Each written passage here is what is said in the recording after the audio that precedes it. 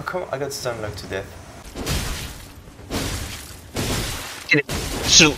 Oh, that's it. That's it. You can't rule out.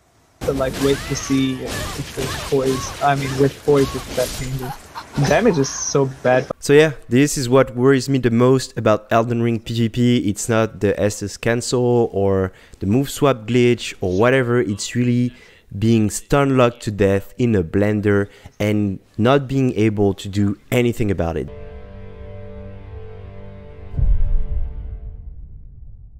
This is like the most helpless you can be in a video game is when you get comboed or when you look back at the footage and you see that there was nothing else you could have done to die. And this is something I really hope they fix during the full release, which is about like a few weeks now. A few weeks away. Guys, a few weeks away, and then we can play Elden Ring finally. So let's look at a few footage and let's try to explain a little bit what's going on. So, so let's first also explain what's the infinite stun lock about. So the, the, the, what's going on here in Elden Ring that we've seen so far and that I really hope is going to get patched when the game comes out is that if if the people you're facing, usually two or more people, are attacking you one after the other, their attack goes into a succession of hit that prevents you from rolling away in Elden Ring.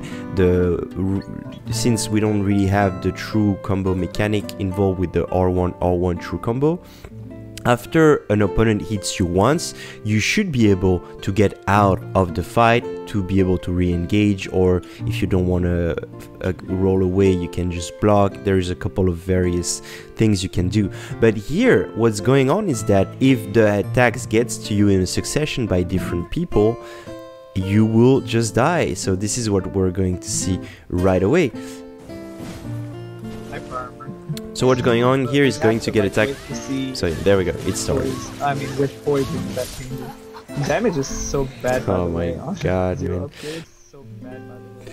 Oh my fucking god. Okay, so what's going on here is that Jeenine is getting blendered away.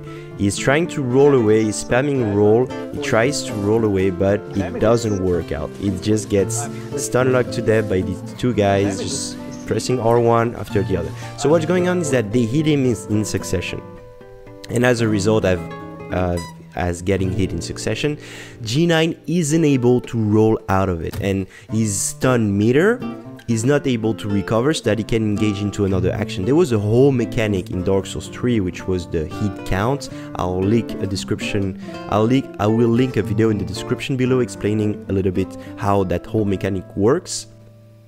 But here, um, it seems like it, so that mechanic was there in order to prevent you from getting caught into a blender of, of weapon and hit and not being able to roll away or you know to just do anything about it to get out of it the, the, way this mechanic worked was that there was a certain amount of time you can get hit, which was usually about two to three times, and then you were able to roll away. No matter how many hit you get hit after this, you were able to roll away. You're able to do something about it so that you don't just die. And here in Elden Ring, it's not there. So I'm not sure if that's on purpose. I'm not sure if this is something that they've worked on and they're going to fix but this is not good so far. This is not good at all. We have another example. Uh, it's also something that happened to me. So it's basically the same stuff. I'm getting hit by this guy.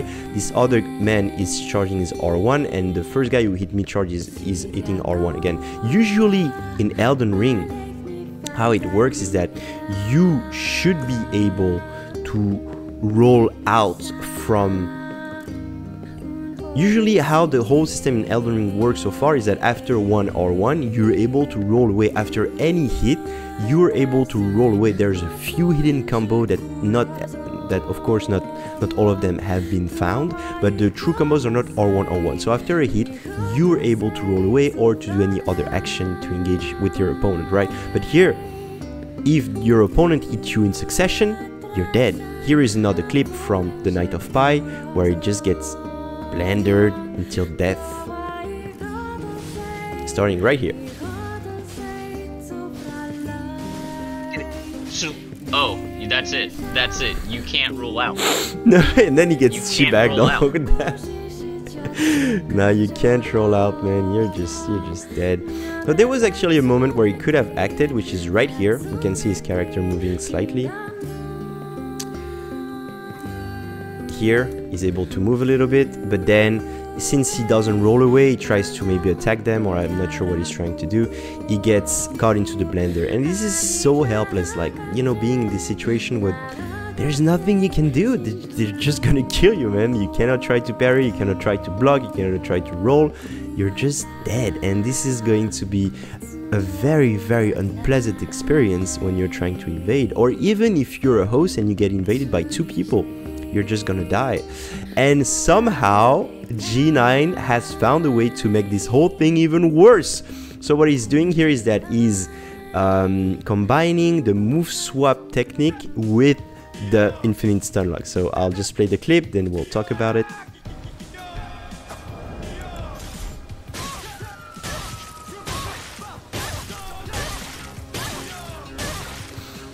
Amazing. Amazing, huh? isn't it? So I'll explain what's going on here for those who don't really um, are not familiar with the tax tactics involved here. So he's doing what's called a move swap. Okay, so what what the move how the move swap work is that you do an attack, you switch weapon into your menu, you take one step forward and you do one R1 again.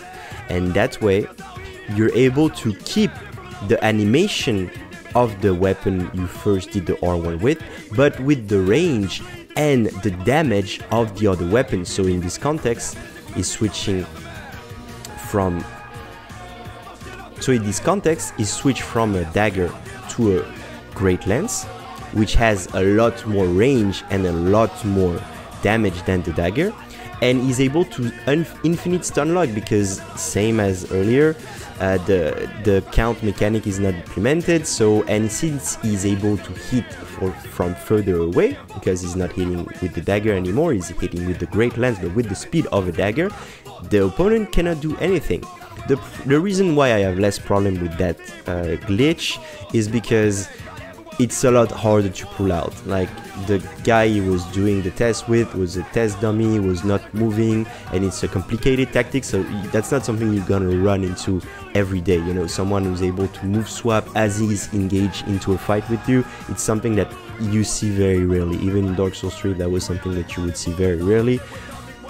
Um, and in my opinion, it's a feat of great hand dexterity and great game sense and game knowledge. So I'm not too worried about this one.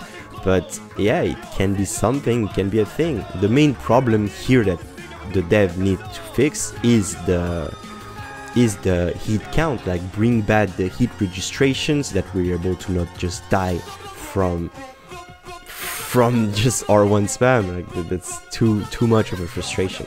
So yeah, let me know what you guys think about this whole like glitch, about this whole I think is that more of an issue than Estus cancel or other glitch you've seen so far in Elden Ring.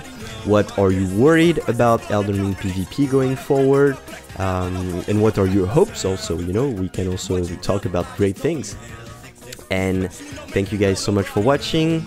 That was the Tarnish Training Camp, and I see you guys very soon in the land between. Bye bye. We enjoy what we we enjoy what we.